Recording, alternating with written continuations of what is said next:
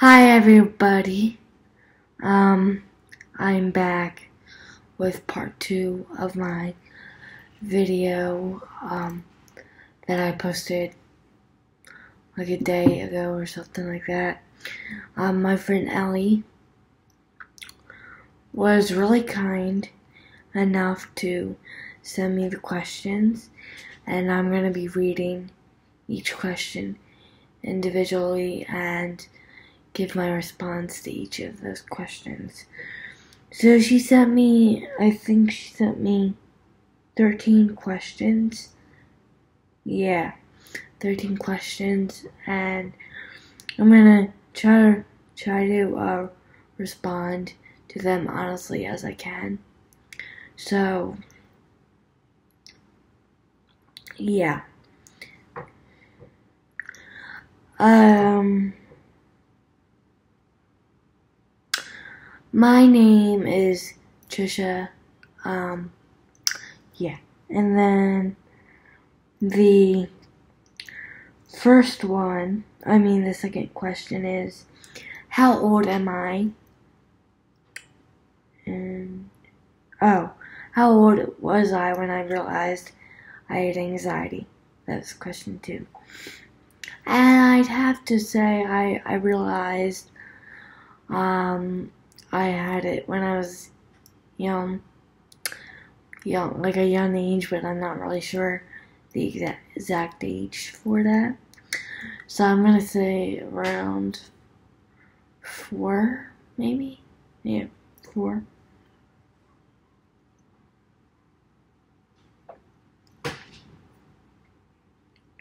And then three is, are you diagnosed? And I'd say no, because uh, I haven't gotten tested for it, but I do show um, like the majority of the signs that are listed for all the types of anxieties.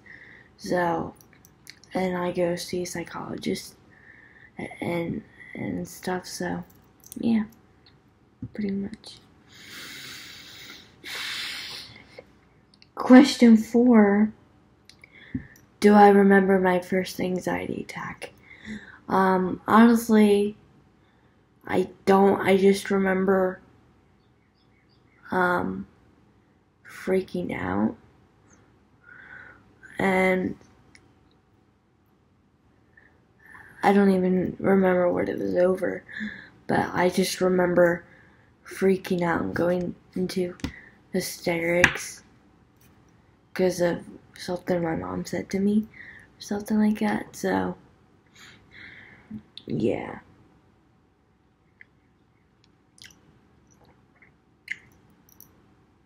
Oh, geez. Number five, so a question.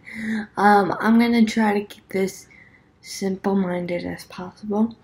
But what triggers them is a bunch of different things for me. Um, personal issues, um, resentment towards myself, resentment towards like situations I've been in.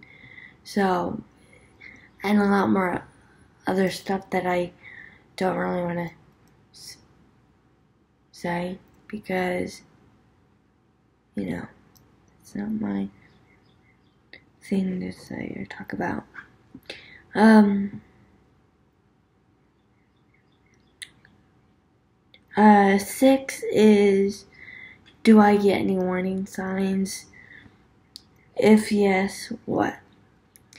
Um, I wouldn't really call them warning signs, like the generic warning signs, but um, as I mentioned in the first part, um, is I'll get very depressed, leading up to an anxiety attack or meltdown whatever you want to say.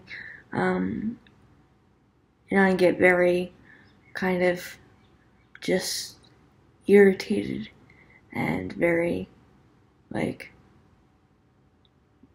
stressed out and my blood pressure gets really really high and it it's like very bad because I get very depressed very easily.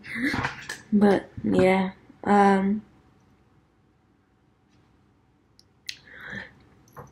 number seven's asked me what happens after you have an attack? Well, during an attack. Buddy, you okay? Alright, he's okay. Um, during an attack, I'm gonna go in a little off the beaten topic here, or the topic at hand. But during an attack, usually what happens is um, your palms, your your body just goes numb. You're unable to breathe. You feel like there's like rocks on your chest.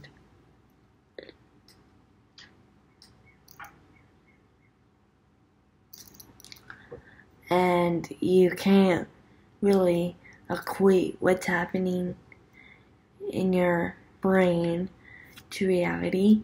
It's where it kind of messes messes with your brain a little bit.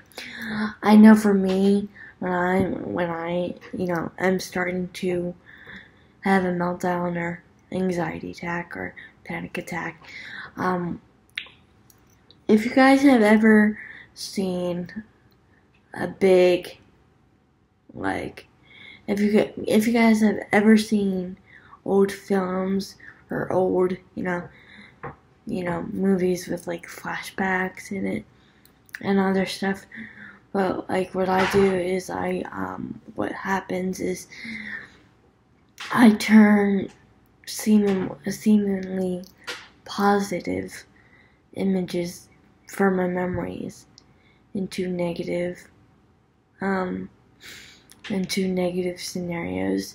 So let's say um let's say my one friend and I have just gone and seen the movie or seen a show at the matinee or whatever and uh, and you know I'm I haven't been feeling good leading up to it. So what what what will happen is um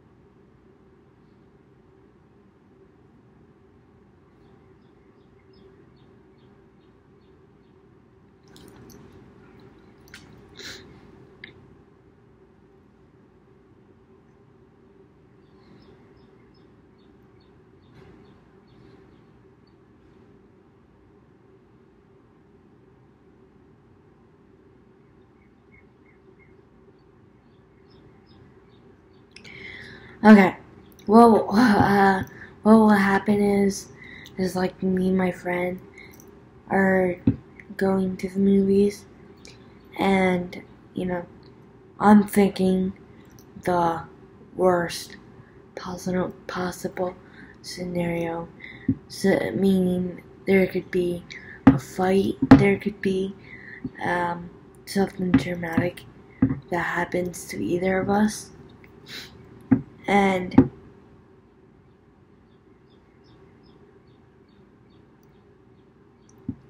and um,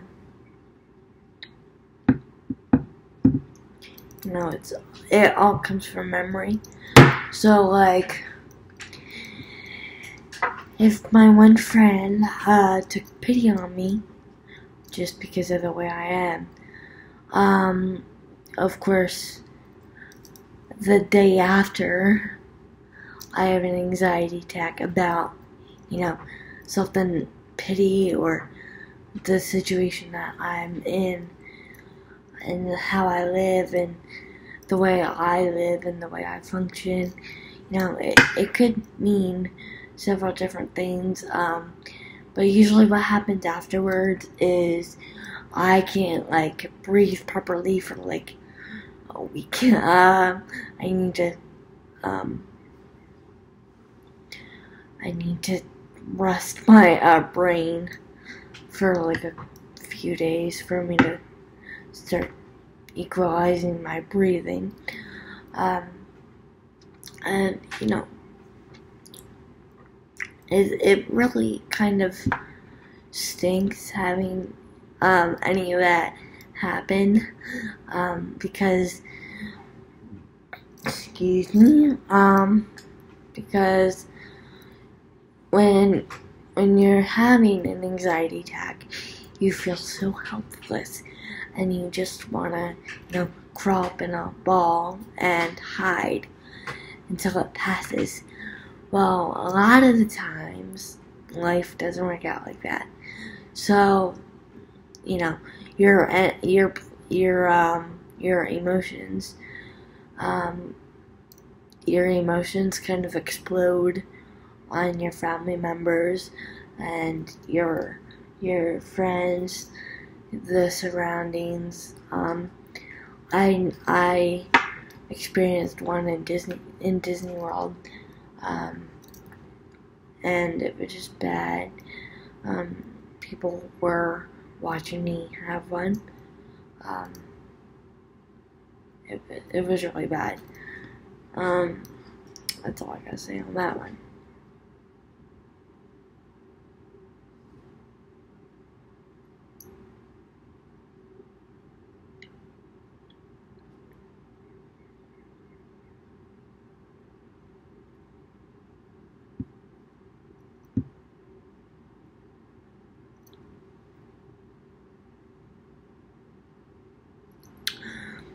Number eight says, well, asked me, what do, wait, yeah, what do you wish people would stop saying about anxiety? Wow. I wish people stopped, um, kind of sugarcoating it, um, a lot because my parents' way of thinking is when I do have these these attacks, um, per per se, is that my mom thinks it's oh she's just having a temper tantrum. Now, mind you, she she has anxiety as well. OCD. Uh, but she doesn't want to, you know, admit that. Just, you know, needs to get some medication or get some help with her issues and you know whatever. And then my dad says she doesn't she doesn't have anxiety. She was just flipping out on her mom or me because I because we didn't let her have something. And it's not a temper tantrum. It's not. There's a big difference between temper tantrums and anxiety attacks. Yes, they can correspond, but temper tantrums is the cousin of it of well it's not even a cousin. It's just it's just out of anger. Anxiety is out of fear and anger and sadness depression and a lot of other words that i can't even think of right now. So that was question number eight and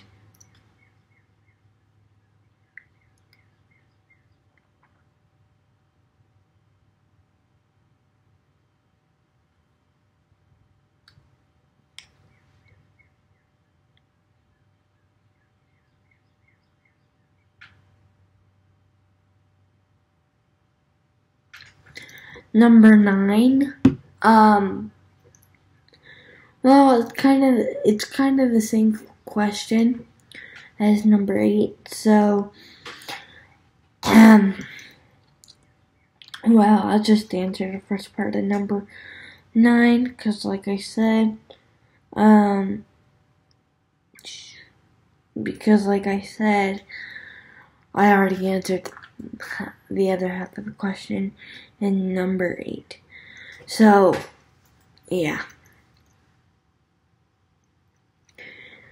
She asked me, What do I wish people would stop doing? Yeah. Oh, okay, this is a little bit different. Um, she asked me, Holy sh! Boys, no.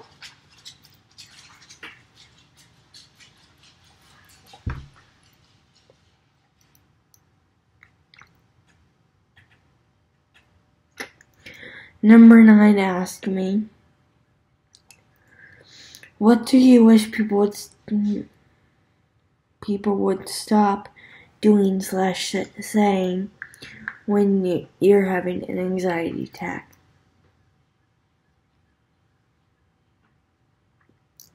Well, this is actually one of my triggers, but I hate when people yell at me uh, to stop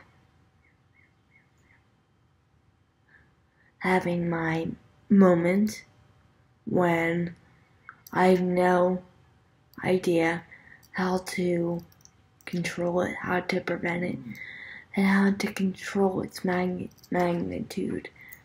So, yeah.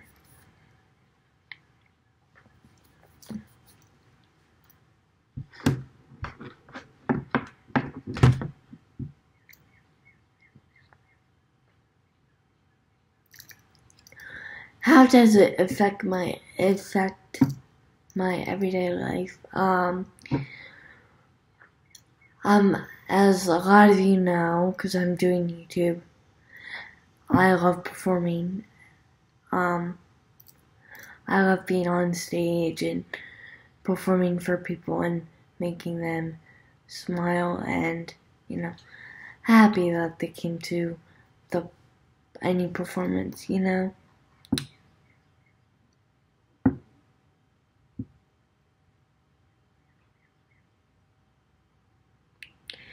And sometimes I don't even audition for things that I could easily have gotten. But I have anxiety, insecurities, and yeah. Mm-hmm. So it really affects my everyday life because when you want to say something, you are anxious and can't you are with like held back from saying what you really want to say.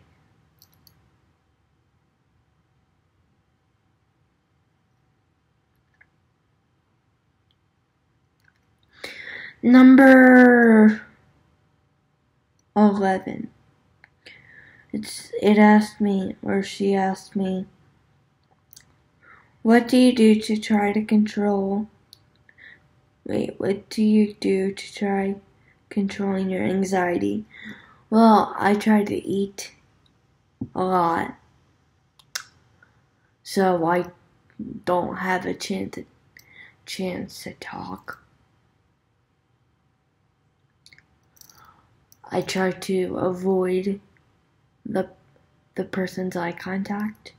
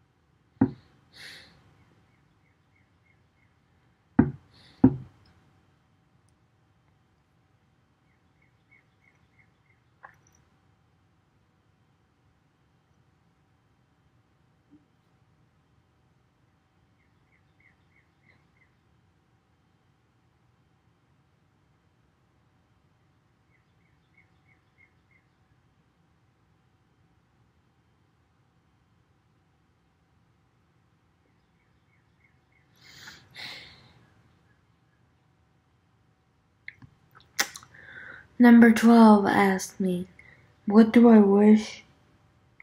Oh. Yeah, what do I wish people would understand about it?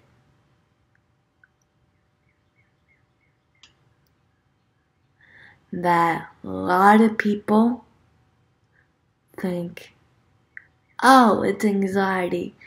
It'll be over before you know it. But it's never truly over. You always have it. 13 is what is my most memorable memorable anxiety attack? Well, I have many, but I think Animal Kingdom and Walt Disney World. Um, so yeah, um, thank you to Ellie for letting me participate in her documentary. Um, it's really been a pleasure doing these two videos for all of you guys and um, for any of you watching this on my YouTube channel.